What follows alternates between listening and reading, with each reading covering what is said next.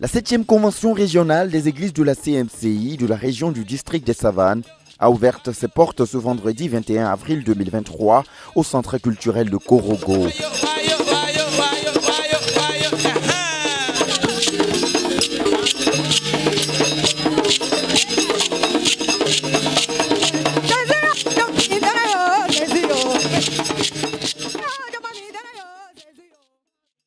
Portant sur le thème le ministère de délivrance dans une église locale. Cette convention qui se poursuit jusqu'au dimanche 23 avril voit la troisième visite pastorale du pasteur Boniface Meignet à l'intérieur du pays pour cette année 2023 après les églises de Boisflé et Issia. Située à 635 km d'Abidjan au nord de la Côte d'Ivoire, non loin des frontières du Burkina Faso et du Mali, Korogo est le chef-lieu de la région administrative du Poro et du district des Savanes, composé des régions de la Bagoué, avec pour chef-lieu la ville de Bunjali, du Chologo, avec pour chef-lieu la ville de Ferkesedougou, et du Poro, avec pour chef-lieu la ville de Korogo. S'étendant sur une superficie de 40 322 km, le district des Savanes abrite une population estimée à 2 159 434 habitants selon les statistiques du recensement général de la population et de l'habitation de 2021. Sa capitale, Korogo, comptait parmi les cinq plus grandes villes de la Côte d'Ivoire avec ses 12 500 km, abrite, selon le recensement général de la population et de l'habitation de l'année 2021, une population de 440 926. Peuple majoritairement de musulmans et d'animistes, plusieurs congrégations et communautés chrétiennes y sont aussi implantées.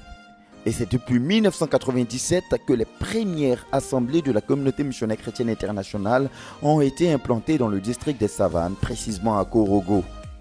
Mais l'œuvre y a été beaucoup éprouvée par la crise militaro-politique que la Côte d'Ivoire a connue à partir du 19 septembre 2002. Korogo ayant été l'un des bastions de la rébellion armée. C'est en 2008 qu'une base stable pour la conquête de Korogo et les localités environnantes s'est établie avec la venue du couple missionnaire Opélie Roméné et Sylvie Marcel Robéné le 4 janvier 2008. Dès lors, nos missionnaires à Korogo se sont mis à l'œuvre dans les prières, la proclamation de l'évangile, la formation des disciples et l'implantation des églises pour étendre l'œuvre tant dans la ville de Korogo que dans les localités environnantes. Aux dernières statistiques, l'église dans le district des Savanes, dont Korogo est le chef-lieu, compte 1834 disciples répartis dans 42 assemblées pour 68 localités atteintes, dont 10 départements, 14 sous-préfectures et 37 villages, tous coordonnés par une équipe dirigeante de 17 missionnaires locaux. C'est donc cette église qui accueille sa septième convention les 21, 22 et 23 avril. Programme qui est l'occasion pour le leader de la CMCI Côte d'Ivoire de rappeler à l'Église la place importante du ministère de délivrance dans la croissance numérique et qualitative de l'Église.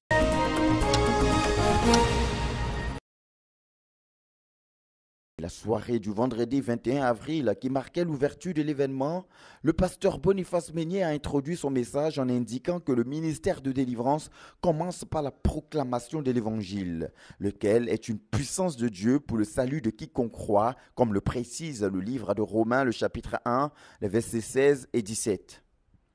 Le passage d'Ésaïe, le chapitre 61, le verset 1 à 3, c'est d'illustration pratique à l'orateur pour étayer la vérité selon laquelle le ministère de délivrance commence par la proclamation de l'évangile. Le ministère de délivrance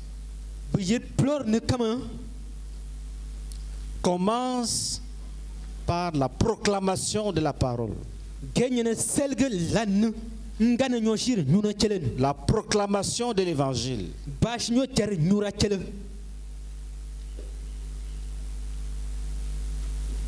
Quand Dieu veut agir dans la vie de l'homme,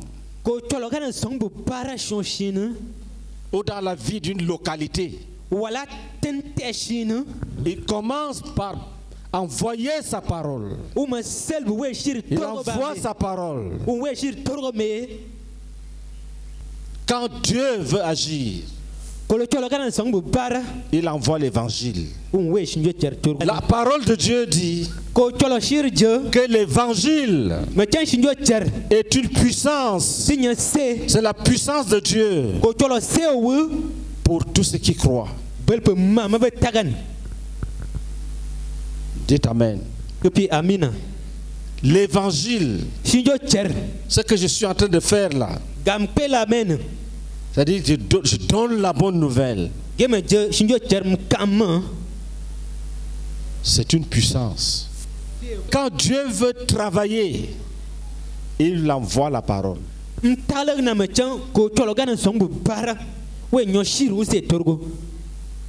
C'est la proclamation de l'évangile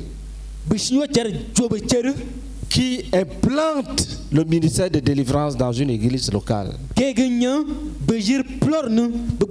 Il envoie sa parole et les guérit. La parole qui est l'évangile ne sort jamais sans apporter la délivrance. Jamais, jamais, jamais. L'évangile ne sort jamais sans briser la puissance du péché.